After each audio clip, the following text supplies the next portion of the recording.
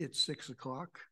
We'll call the meeting to order. This is the Monday, October sixteenth to twenty twenty-three meeting. Ceres Planning Commission, would you all please rise and join me in the Pledge of Allegiance?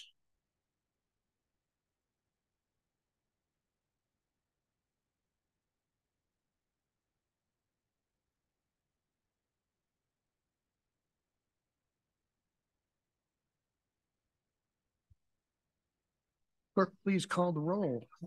Yes, please note that Commissioner Del Nero and Commissioner Johnson are excused this evening. So we have Commissioner Jamu, Present. Commissioner Otero, Present. and Chairperson Catchell. Here. Do Any of our commissioners have conflict of interest on anything on the agenda? Oh, okay. Please note that uh, public comments tonight via, via Zoom have been suspended. If you followed the media, you know why. Public comment during the meeting must be made in person. Members of the public may still view the meeting via Zoom, however.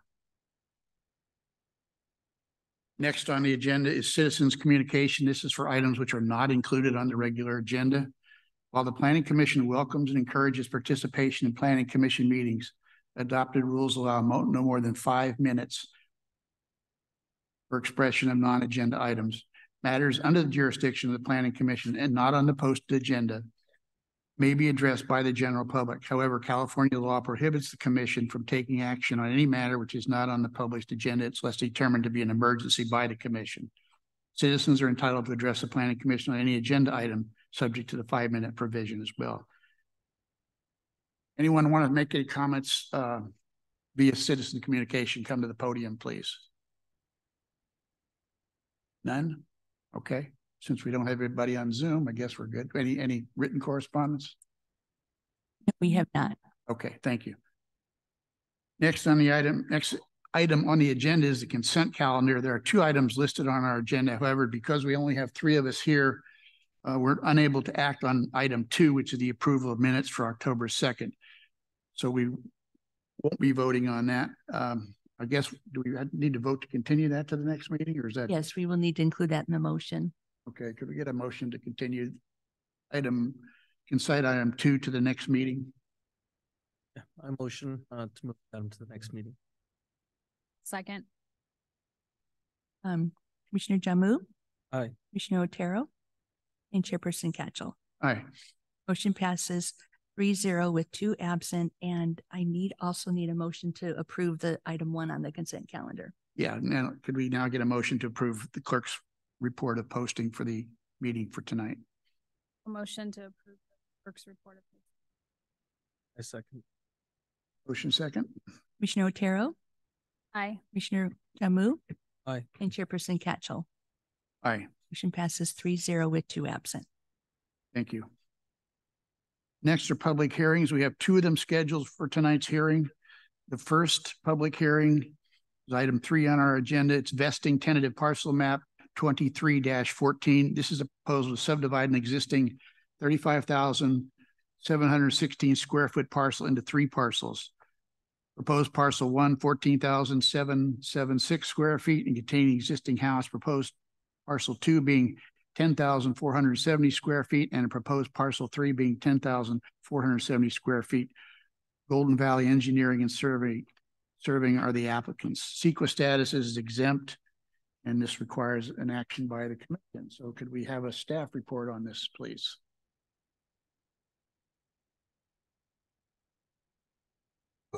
Yes, uh, Teddy will provide the staff report. Thank you.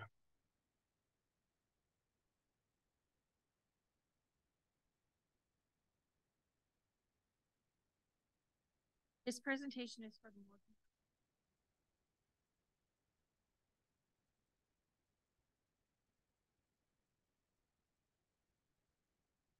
Project consists of providing a five, seven, one, six.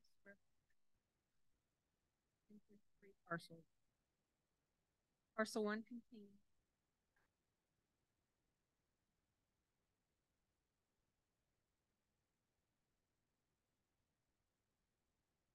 project site is located on road and aerial vicinity.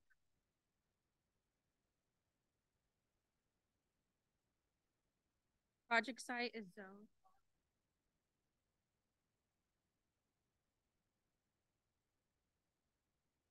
Project site has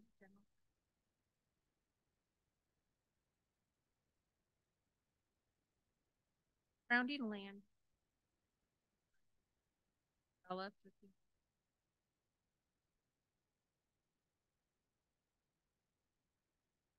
proposed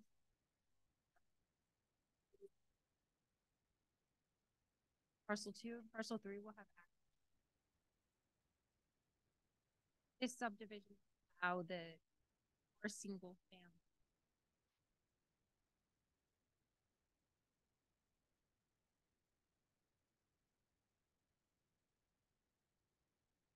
Subdivision.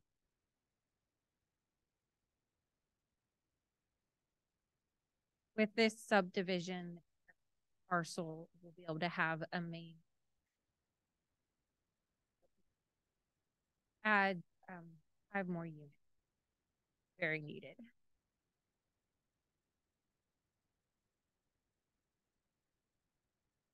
Project site photo, you can see the family house, it'll stay there. Parcels that are proposed.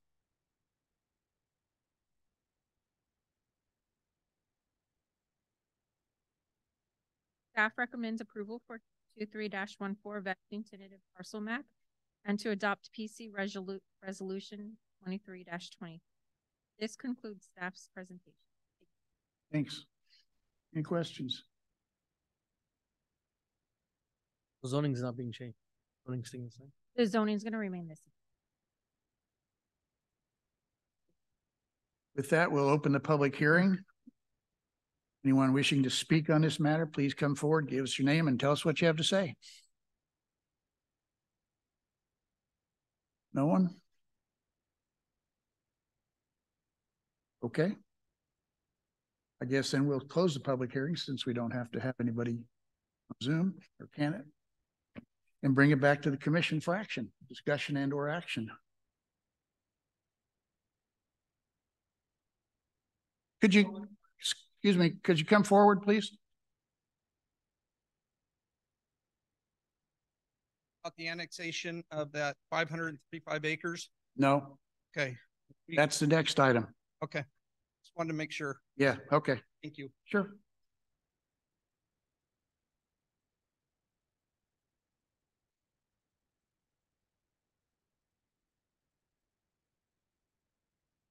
Yeah, I had nothing either. Guess we get a motion.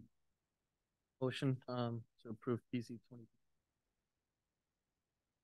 I'll second that.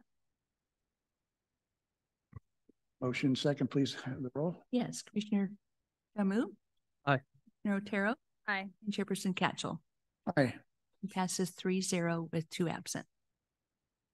Okay, now we move on to the second public hearing, and this is a project called Copper Trail Specific Plan and Annexation. This is a scoping meeting, um, the environmental review on the project. This is not for approval or denial of the project at this point in time. It's just to gather information uh, that goes into the study of the process and have staff report, please. Hi, thank you.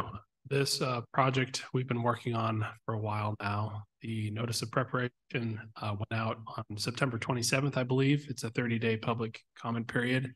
And excited to see some members of the public here. Um, hopefully we'll get some comments about the project.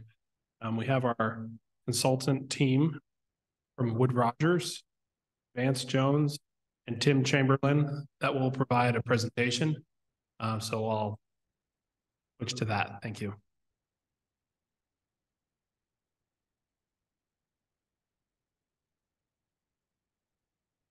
Good Evening Chair, members of the commission. My name is Vance Jones. I'm with Wood Rogers, and I'm joined here by Tim Chamberlain, who will speak in a moment. Um, The, we're the primary consultants that are uh, working for the city uh, to help process the Copper Trail specific plan and the associated annexation of the southern part of the city. Uh, If you could jump to uh, the next slide, please, Christopher what we wanted to go through this evening on our agenda is really just provide a project, real high level project overview. Is Copper Trails plan area. And we want to get to So the environmental impact report, what is an EIR? Process look like? Tim will help facilitate comments from the public, bring matters that should be included in the EIR analysis.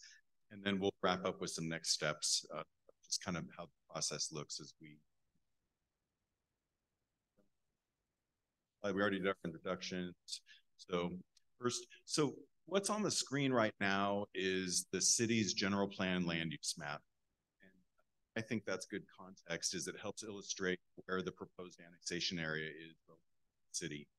So uh, this this land use map, uh, although it is difficult to see where the existing city boundaries are, what's demonstrated here is that city has done a lot of planning respect what types of land uses currently exist within the city's existing limits and what the plan uses would be just outside the city's limits uh, in the city's sphere of influence and general plan planning. When the city adopted its current general plan back in 2018, there was an expansion to the city's sphere of influence and planning area, which began to recognize and acknowledge where future growth areas of the city could be accommodated. And so at the bottom of the screen here, you can see we identified what we're calling the project site. And that is the area that is Copper Trails, which is about 535 acres. In addition to that, there's another 146 acres that aren't necessarily part of the specific plan effort, but they are part of a larger annexation area that would be the city uh, city goes through. So what I really wanted to show here is that project site, if you if you look at it through the screening, you can see there's some preliminary land uses that have already been assigned. And so when the general plan was updated back in 2018, the city had some foresight recognizing the existing schools in the plan. Then there's some recognition that along the Highway 9 corridor would be suitable for some regional commercial land uses. And then throughout the balance of the area, just a mixture of residential neighborhoods, parks as well. So uh, I think that's important context because the city in previous years has laid the groundwork for copper trails. You'd advance to the next slide, please. Right here, just wanted to give a real brief overview of the actual copper trail site itself. Uh, that's in the center of the screen with a dashed arrow. The existing site right now is bordered by Highway 99 and the eastern edge. Northern edge of the Copper Trails plan area consists of Service Road. The western edge of the plan area is Blaker Road. Southern edge that you see there that kind of inflates around it's one of the canals, southern edge. And this is about uh, 535 acres. Uh, well, it'll be easier to see in the next slide existing schools are, but there's about 75 acres of existing schools built the, the, go back to the aerial. The balance of the plan area is primary large ranchettes, uh, some homesteads, uh, orchard uses, other agricultural uses. But important to note is that there is a robust, although not improved, but a fairly robust existing road that serve the annexation. So uh, Central Avenue runs north-south through the plan area. Moffett Road uh, runs north-south Redwood Road, west roadway towards the southern end. All provide access to the existing parcels. Now we can jump to the next slide. Thank you. This is the proposed land use map that we've been to evaluate and prepare a specific plan. So along the, the western edge, excuse me, the eastern edge of the plan area where you see all the red, uh, that is that land use is for a regional over 100 acres situated along the Highway 99 and Service Road. And, and what, what's important to point out as well, while I didn't just mention this on the previous slide, is at Service Road, there is in the works a new so that will, you know, take future in a future state when this area that'll provide significantly greater access opportunities. And in response to that planned interchange, uh, the applicant has actually routed some local roadways there. Traffic. So adjacent to the, the regional uses that you see in red are the plan area's highest intensity residential uses. There's about, um, cheat sheet here. There's a mixture of high density residential, medium high density residential uses.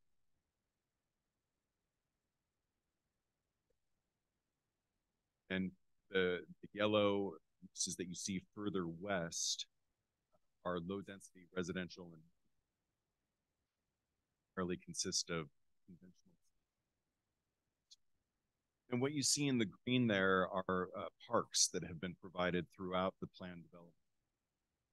Those parks are spaced throughout the, the neighborhood, so they're an easy walking distance to future residential development, and also easy walking distance to. So this land use plan will ultimately specific plan, which is something that we're tasked to prepare. And the specific plan really functions as a blueprint document the city can use, assuming it's approved, the city can use to implement establishes where land uses are located, as you see here, the parks that are required by city standards, the location and sizing and alignment of and trails. The specific plan also includes provisions for public services like police, fire, parks, library, you know, all the public services that city and the county. And it, it really is the implementation that this area when all is said and done, if if the plan area were to build out consistent with this land use plan, it supports about uh, thousand, just shy of two thousand four hundred. That is a mixture of low density, medium density, single family detached, as well as higher density apartments, townhomes, which covers just an overview. Annexation area again doesn't have any specific plan level of, of preparation for it, but just to keep to make sure that there are no pockets created of county land within the city. The annexation area is slightly bigger.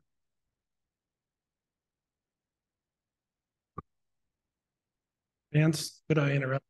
Um, is that microphone detachable from the stand? And if so, could you could you hold it right to your mouth as you talk? Thank Yeah. you. All right, sorry. Wow, I didn't realize that. advance in stereo. Uh, that for for my part, that uh, that wraps up the project overview. I, I do want to pass it on to Tim Chamberlain here to talk about the EIR process and uh, go through what what that process looks like, city, and what the next steps are.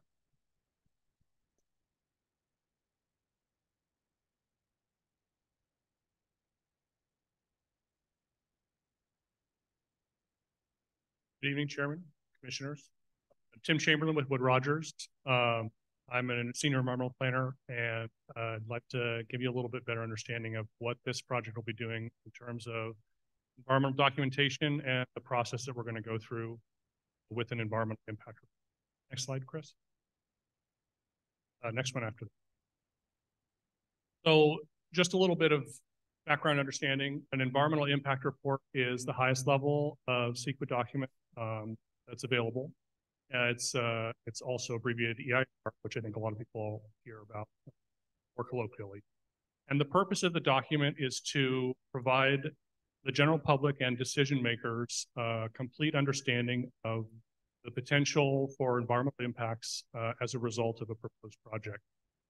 In this case, the project itself is the specific plan, not individual developments that would occur in the future, but more a broad uh, look at changing land uses and coming up with a plan for development to follow in the blueprint Vance mentioned a minute ago.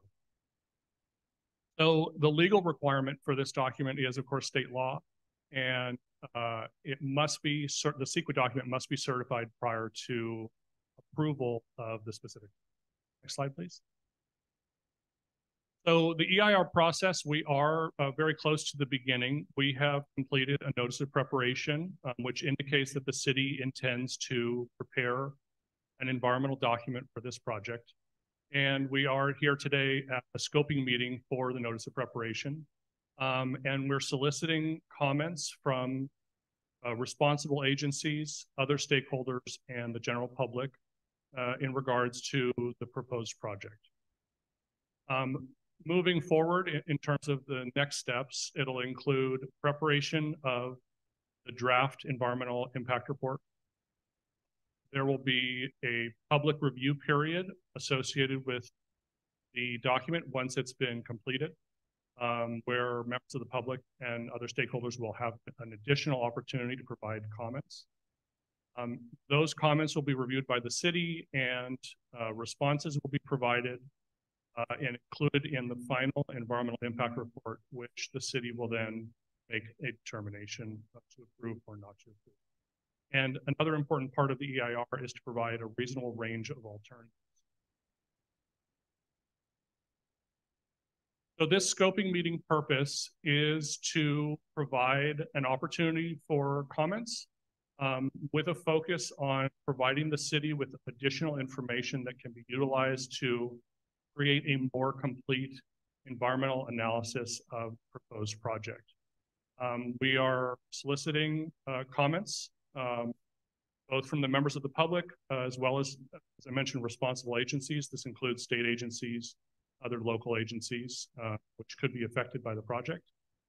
And um, all of that information will become part of the environmental record and included in the environmental impact.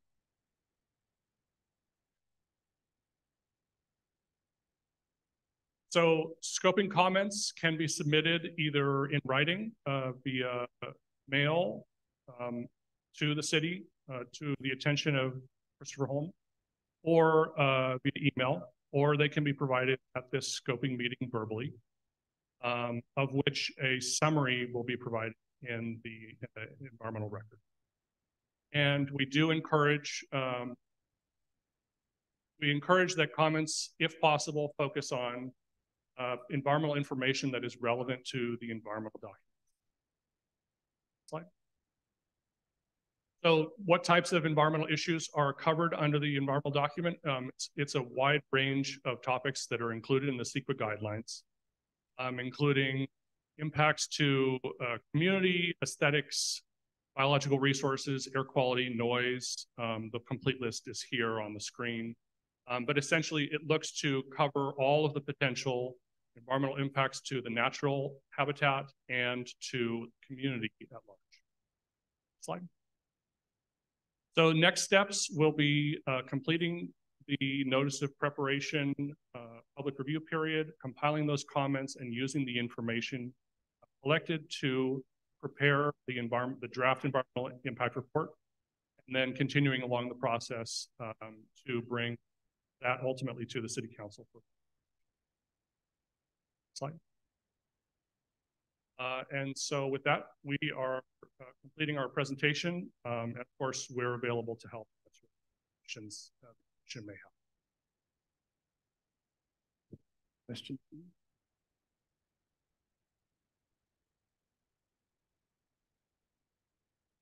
Don't have anything right now.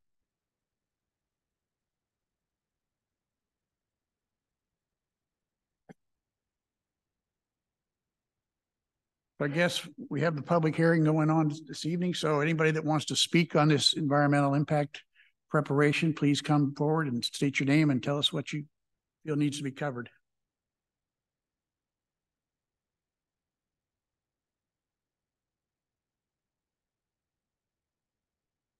My name is Robert Conway. Anyway, I'm uh, um, farm some of this ground that's in this area right here, right now. My concern is that you guys keep pushing out and pushing out and pushing out, and it's affecting how we operate out there too, because of certain situations, uh, chemicals that we use, uh, things that are just affecting the environment out there. Um, I understand growth, but there's a certain point to where enough is enough, to be honest with you. Um, they put the schools out there and part of me uh, does have a little bit invested in this. I've been out there on that edge since I've been 13 years old. And uh, um, I was not happy when they put the school out there. And honestly, my first thought at that time was, yeah, here comes a development. And sure enough, a little bit later, Stuart Farmy uh, buys his property with eventually to develop it, which is what he's pushing now. I don't understand at times how you guys operate with the annexation stuff. I just know over times that we have seen people just come in and say, okay, we're gonna build here. It's a different process, and like I said, I, I don't understand. You know, understand this more, but you guys with the planning commissions keep creeping out and out and out. Right now, people can't afford homes. I don't understand why we're putting homes out there when we're taking away farm ground that is actually helping with everything else here, the farmers and stuff like this. Environmental impact, yes. The other thing I'm concerned about too is that I do farm right there by the high school right now. I put black eyes in uh, my uh, field there before, and three years ago, before we hit the drought, east from the farm, uh, sewer farm next door, or water treatment plant, whatever, they came over and cleaned it out. I mean, just cleaned it out. My concern with this is you got the school there, and I took this to the regular board of directors and stuff here a while back, talking about the property. These geese crap all over the place, to be honest with you. I'm just being blunt. And uh, uh, you're putting these homes on there. These people are going to be walking through there, and these geese, they're not going to stop like we do and say, "Hey, I need to use the bathroom." They're just going to go. So this has been one of our bigger concerns there already, even without just thinking about putting homes and stuff in there. They are uh, trying to use. Um, they are given the right to stay there. There's no way to uh, remove them anyway, unless the board of directors tries to. One of them on there did say that they agreed with me to a certain extent that it needs to be worked on. Like I said, my concern is with the environmental part of it, on that end of it, there, and then the effect it's gonna have on out there. Creeping out. I was coming in here with a different mindset about this, whether it's gonna be looking to approve tonight, whether they're gonna put it, annex it or not. Of, course on that, being that it's an environmental. So my concern is that how is it gonna affect us out there in the ag area? Traffic there is already a nightmare with the four schools that are there. Idol, the other one I can't remember, it's out on the old Kersey Ranch They put Central Valley High School in there. I think there's a charter school. All these schools right there, you go there between eight and nine o'clock in the morning and they're even seven thirty. You can't get through at all. The lake clears up. And they are parking all over the places on the side of the roads to drop these kids off. I darn near hit one a while back because he just decided all of a sudden to dart in front of me with my equipment. Oh, this is my concern with that. You guys keep impacting and pushing out there and pushing out, out there. Why not take and find these spots that are in the city limits already that are still vacant and develop those first before you start to move out further? I said, I do understand growth, but I think it's the wrong time to be doing anything out there, period. Annexing or uh. Can I ask where your property is located? It's actually the piece, it's just right there on the west side of the uh, high school. It's a little eight acre place and there's another little three acre one that belongs to uh, Ed, well, I don't know if it's under Edmund Seamus and the other one belongs to a Jack Bird. So you're within the project area then? Oh yeah, Okay. right there in the corner of basically a Blaker and uh, Blaker and Service Road. Let me ask a question, go back a few years. Did you get involved at all in the general plan update process in uh, twenty eighteen, I believe it was? Never knew anything about it, to be Okay, honest with you. all right, You know, because there's, yeah, my history goes back to, well, like I said, it's 13 years old. I know, and I know, um, I know Stuart Fommy. I actually leased ground from him for a while. That was originally bought, gosh, I'm going to guess 20 years ago, somewhere in there. I can't give you exact dates. To develop, and that was the time that the market crashed. So they weren't able to develop. it. Okay, thank you. This is, you know, part of me is just like, one thing I want to say is that I think developers that do this projects and stuff like this need to be local, not coming from the Bay Area. So that's another part of just Okay, things going on. But anyway, I appreciate your guys' time. Thank you. Thank you, guys. Ask a question? Uh, I would guess I was under the impression that every, all the property within the plan area called Copper Trails was part of the process. But this is a guy who owns land within it and is not. Oh, okay.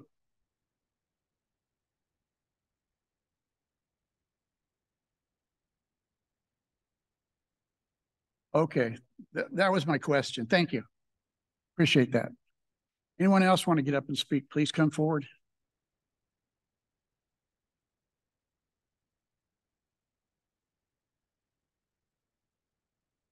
Evening, my name's Or. Um, I own a parcel directly across the street from Central Valley, excuse me, Central, Central Valley High School. We've had that parcel since December of two thousand and five. It was our attention uh, at that time to buy and get it annexed into the city. So I've been waiting for this project for quite a bit now. The city does need growth. The City does need housing. Um, we have taken an anti, uh, approach for the last God knows how many years. Um, cities like Manteca is way ahead of the curve. Uh, is not trying to catch up. City uh, Ceres is lagging. Uh, at that time, this project had legs and had footings, but the city manager at that time put on so many constraints that basically yanked the project out and was forcing this annexation at the cost of Walmart, Super Walmart at that time. And from there, the project died. As you know, in 2008, the economy crashed. And then this project got uh, put. on. And so I would like to see this project put forward. I think it's a great project. I've been living in the city since 1987 uh, and highly invested into the city. Uh, the local contractor as well. So I am vested in this project. I think the city needs it. I think we all need it. So that is my two cents. Any Questions for me? Do you have any comments on the environmental process? That's what we're here for t- tonight. We're not here Okay. tonight. You know what? I You're, didn't you're a ahead of the curve a little bit. Okay, so, so sorry about that. I came late to the party, so I didn't get a chance to review uh too much. Um, but uh, I'm sure there'll be uh future planning meetings. that I'll go ahead and look at the impact and be able to comment on. Okay, thank you. Thank you for your time. Any questions?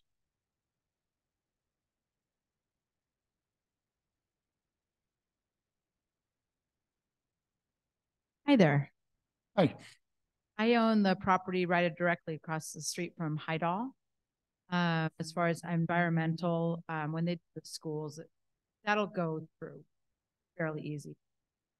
But I'm hoping, I know you're only supposed to talk about what, what I, I've been living here in Ceres for thirty years and it's been a great place. And where we live is prime to, for access to the freeway. That, um, and what I'm wondering is how long in your guesstimation will these projects take before we're annexed?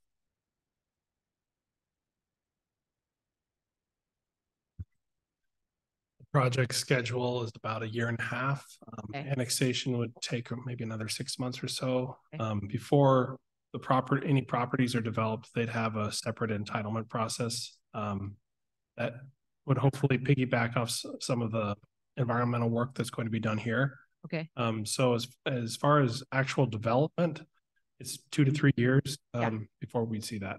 okay, thank you for that. And uh, what I'm hoping is for Ceres in general, um, what I've seen a lack of, Turlock developed that whole area that used to be the farmer area that right, you know, milk cows, and all of a sudden they were gone because they bought the. And then all of a sudden these roads came out of nowhere that looked like nothing. But by building the infrastructure first, all the commerce came and the homes. And it's easy to maneuver. And I feel like Ceres does that backwards. I'm hoping this time, put the infrastructure in first. Spend the money. I know it's hard. I know it's hard to get that kind of stuff going. but spend the money to do it and it'll come back to you ten times. I know we're gonna be bought out, which is fine. I've, I've enjoyed my time where I am. But I'm hoping for Ceres because I really do love the town. I know we need more homes. Um, I'd like to see us being more medium density because we're directly across the street from the school. But duplexes there so people can actually afford a half a house. You know, that's their own house. Because people can't afford a home that's four or five hundred dollars that are, are, you know, uh, in the lower end of income and they'd like to own a home. So I'm hoping you consider these kind of things. That's all I'm saying. But I, I'm it's time and um, I am for the, the project. And thanks for letting me know the timeline. Appreciate it. Anyone else? Yes, sir.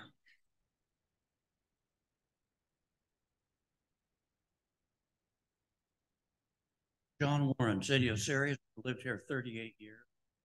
And what the previous uh, lady spoke about with the uh, infrastructure is entirely correct. Take a look at Ochoa Park out there. They built out Eastgate and the park is still lacking. Lion Park over here never has been built. That's uh, 20. The environmental impact report needs to address infrastructure and how it's going to impact the city. Fire protection, police protection. You're going to put 3,000 new residents down. You have to pay for those things, services that the city is going to provide. How is that going to be put in place going forward? Okay. How many police officers will this city have to hire? How will they pay for them? Right now, the city doesn't have a balanced budget It's going to have a hard time paying for the people they have in place. The same thing for fire protection. All that area out there is going to be added to what Ceres currently has. And that's going to have to be paid for going forward. So what process is going to be put in place to provide those funding projects for the city? Before you build any roads down there, I'd have you build every park that's in those green shaded areas. So they're in place before you start building houses around them and putting families and children in there that are going to want those services. Their kids will grow up without a park. That's the way the city does things now. The other bad thing that this project is going to develop or cause is the 146 acres there off of Central Avenue that would become county pocket areas. And they don't want that to take place. I don't know how many people have driven through that area recently and looked at the state of the utilities and the streets and the sidewalks of those communities. I don't know personally, but I don't think a lot of those folks in there are even hooked up to our city sewer systems, whether they are or whether they aren't. The streets are dilapidated. The parking situation in there is terrible. All that infrastructure needs to be brought up to date before the city should annex that 146 acres. And how are we going to provide services for those people that live there?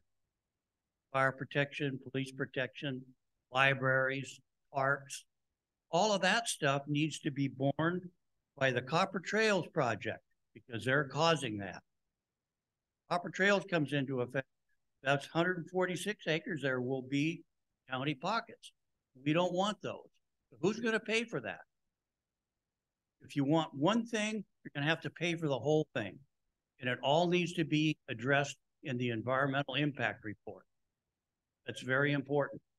Otherwise, the city of Ceres can't afford to do that. You can't go to the bank and get money out that's not in there. So consider those things and make sure those things get noted in that impact report. That's very important. Thank you very much.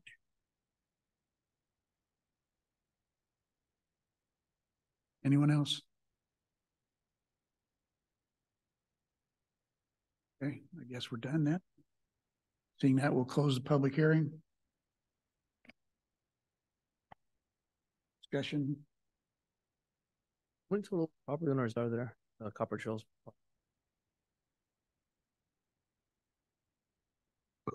I don't have that figure off the top of my head, but um, in the, in the Copper Trails area, not, not including the hundred, uh, the, the area north of Service Road, I would guess around fifty property owners, there, some, somewhere in that ballpark.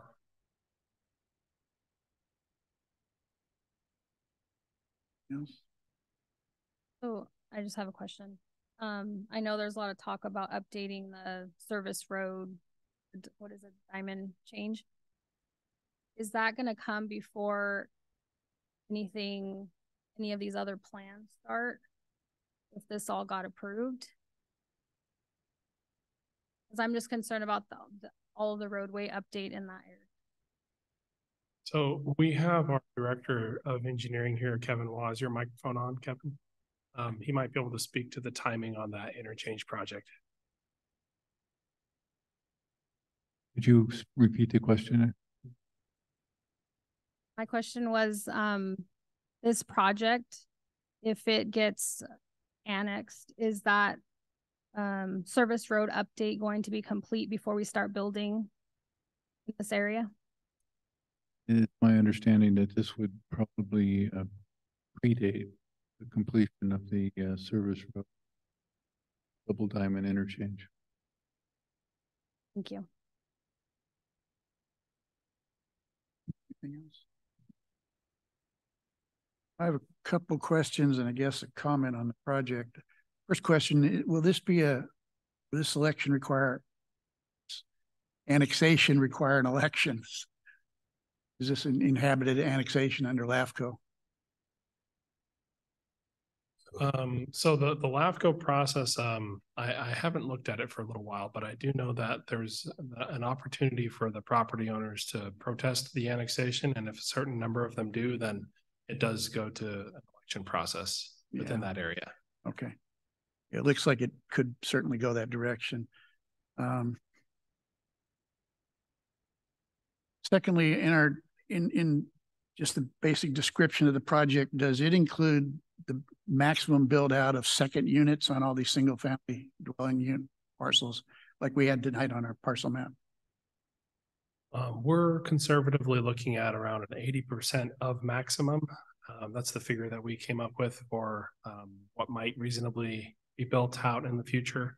And it should be noted that as soon as, if it is annexed, as soon as it is annexed, it wouldn't be immediately developed. There are a lot of different property owners and each one would develop kind of at their own time scale and some people might want, might not want to develop right away. Um, so the whole process of filling out the whole area would probably take several years or many years. Yeah, I just want to make sure that had been addressed. So easy to forget about this, that recent change in the law. And then just a project design concern I have, and this is just me. Um, the area that's labeled parks looks to me more like it's landscape strips uh, along the roads, which are not parks. They are green areas planted probably in grass, which means in this time of drought, we're going to have to irrigate basically land which has no use, practical use. Uh, I would much rather see a design that has real parks in it, which could be landscaped, uh, built, and as the gentleman indicated, uh, a plan to build those such that they can be usable. He pointed out, I believe, at least two parks in the city now which are un- undeveloped. And uh, one of them surrounded by housing on three sides. Uh, the other is kind of on the fringe of the city and might, it might be a little different situation to look at, but uh, you're going to be putting a whole lot of people out here, and I would like to see some usable park space, not this uh, landscape strip all around the project that they're counting as park space to meet their obligation under the code requirements and the ordinance requirements, uh, but really don't provide any kind of park space. Can you practice soccer there? Probably not.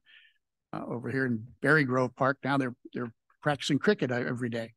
I didn't know we had cricket in Ceres, but we do, and there's a lot of people over there doing it and having a good time doing it. Uh, so that's just an observation on the design of the project. I, I can't see approving a project with all these green strips of landscaping all the way around it, which look nice, obviously, uh, but require maintenance. Uh, my parents lived in a community on the Central Coast not too long ago, uh, which had that exact kind of landscaping And uh, this was back about four, five, six years ago. They took it all out uh, because of the drought, because it was costing money to keep this stuff up, and they put it into uh, low maintenance, low uh, low water need um, property along the along the streets and the land the streetscape. So uh, that's my personal observation on the plan itself. As far as the rest of it, I, I don't know. I, I, think it's a great idea to include uh, the county islands and whatnot. I think see you jumped over a little bit on the other side of the freeway to pick up some potential commercial land over there that's within the sphere of influence. So I, I think it's well thought out. Uh, again, aside from the park concept, which I really don't like. Um, but other than that, and the questions I had, that's all I have for now. We'll get more chance to look at this later on, but uh, got people, that's their job is to do this stuff for us. And so that's why they're here. So I guess with that, uh, we, we don't have any action required on this this tonight that I know of. So uh, anybody else, else have anything else they'd like to add since you're here?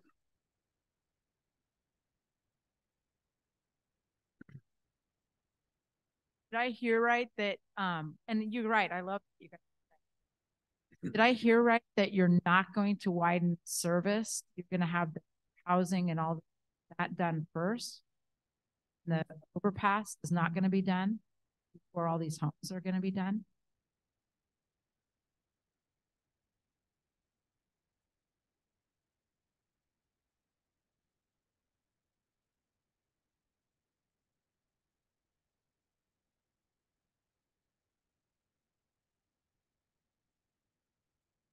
It all right if I answer the question? Yes. My thoughts are that the uh, overpass will most likely be completed in twenty twenty-eight. You got to be kidding me because That- right now it's backed up all the way to the high school, the, the traffic, trying to get over that little, how, how, why, how can that get moved on quicker? So they start that in. Current schedule depended upon environmental review. That's what's holding it up? Environmental? That, that is one of the things that is uh, currently scheduled right now. and Construction drawings will be probably completed in twenty twenty-five. The, uh, you know, the negotiated settlements. The project, so. Just guessing that it's around the twenty twenty-seven. Time frame with the, There's no way to get that moving a a little quicker it, it's, uh. because really it's, I don't see how this is going to work without the infrastructure. The railroad, uh, uh, is Yes, one I- of the. they want money. We have a two-hour window over the construction of the railroad tracks and they're gonna give us, so we're gonna challenge by that. Yeah. But I would believe that Trails, if it went with a, a, you know, let's say a whole year in the environmental uh, the drawing to be done, I, I would say that within two years that would be Okay. we're looking at uh, twenty-six, so yeah, it could be a year or two years before the service road interchanges. Well, however you can light a fire under people's butts and get that going, I totally am for that. Because it's gonna be really, this is the thing about Ceres is you all these little uh stoplights and the, the, all that, and it's, it's a mess right now. People don't know where to go because it's, it's a mess. So I'm just saying, we have the ability to have a beautiful town. The infrastructure needs to be in there first. So, so these guys can come in and have it easy to make Ceres a wonderful place We, we are pushing it uh, every day. every week. Good. We meet with them Do it. Absolutely. Thank you. That's all I wanted to say. You're welcome. Is Caltrans the lead agency on that project? Is Caltrans the lead agency on the No, we are, it was Ceres? Okay, yes. I wasn't sure. Gonna end, end up with the property, uh, frontage road. They'll be the owner of the, Okay, thank you. I think that translating what was just said into the environmental document would probably be the need for a very detailed, including schedules for implementation as much as possible uh, in the mitigation monitoring reporting plan, uh, which is what when the, when the environmental process is complete, you, you end up with a plan to make sure everything that you say is going to be done is done, including mitigation of impacts.